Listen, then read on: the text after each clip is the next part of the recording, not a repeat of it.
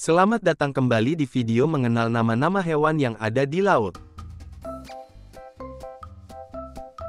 Ini adalah bintang laut, bentuk tubuhnya seperti bintang, hidup di habitat pesisir pantai. Memiliki lima lengan berduri pendek dan tumpul pada permukaan tubuhnya. Alat geraknya berupa kaki ambulakral. Ini adalah ikan pari, bentuk tubuh ikan pari umumnya bertubuh gepeng melebar, dengan sepasang sirip dada yang melebar dan menyatu dengan sisi kiri dan kanan kepalanya. Ini adalah ikan badut, karakteristik atau ciri khas ikan badut ditandai dengan kombinasi warna kuning, oranye, coklat atau hitam, dan memiliki tiga garis putih. Ikan badut tergolong sebagai hewan omnivora atau pemakan segala. Ini adalah ikan blue tongues. Ikan ini memiliki warna secara umum biru mengkilap atau terang, bagian tubuh depan berwarna hitam, daerah sekitar insang berwarna putih, warna sirip beragam dan berwarna cerah, ukuran maksimum mencapai 20 cm. Ini adalah kelomang. Kelomang merupakan satwa khas daerah pesisir pantai.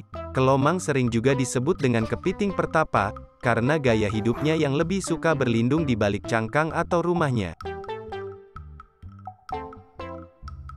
Ini adalah lobster. Lobster secara umum memiliki tubuh yang berkulit sangat keras dan tebal, terutama di bagian kepala, yang ditutupi oleh duri-duri besar dan kecil. Mata lobster agak tersembunyi di bawah cangkang.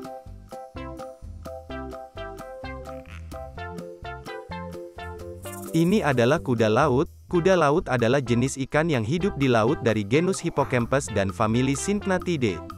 Hewan dengan ukuran yang bervariasi antara 16 mm sampai 35 cm ini dapat ditemukan di perairan tropis dan menengah di seluruh dunia. Ini adalah gurita. Gurita bertubuh lunak, tidak punya cangkang luar, memiliki delapan lengan, memiliki mantel, dapat menyemburkan tinta dan habitat di air laut. Gurita merupakan kelompok hewan bertubuh lunak. Gurita termasuk ke dalam filum moluska. Ini adalah kepiting. Kepiting adalah binatang anggota krustasea berkaki 10 yang dikenal mempunyai ekor yang sangat pendek. Tubuh kepiting dilindungi oleh cangkang yang sangat keras dan dipersenjatai dengan sepasang capit.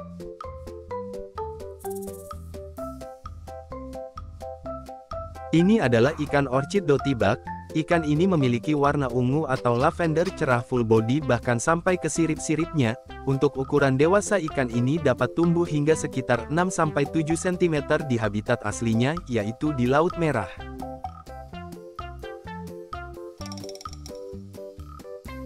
Ini adalah penyu. Penyu adalah spesies yang telah hidup di muka bumi sejak jutaan tahun yang lalu dan mampu bertahan hingga kini.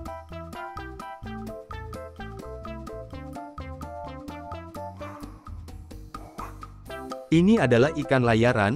Ikan layaran atau disebut juga ikan setuhuk, adalah dua jenis ikan di dalam genus Istiophorus yang tinggal di perairan hangat samudra-samudra dunia.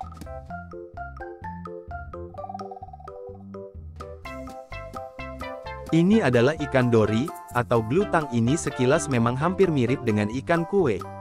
Selain sebagai ikan hias, ikan ini juga biasa dikonsumsi. Ini adalah koran angelfish, yaitu spesies ikan bersirip pari, sering ditemukan di Samudra Pasifik Indo-Barat. Kadang-kadang masuk ke perdagangan akuarium.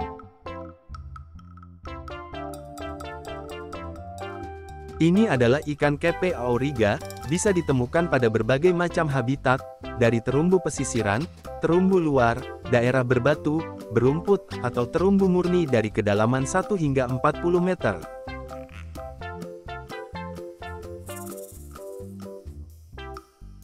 Ini adalah ikan kepe-kepe berkerudung, ikan ini ditemukan di terumbu karang arah laut dan laguna.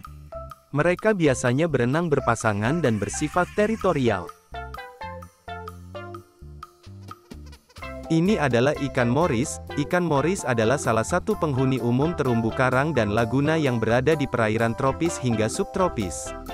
Ikan ini terkenal karena persebarannya yang luas di seluruh lautan Indo-Pasifik.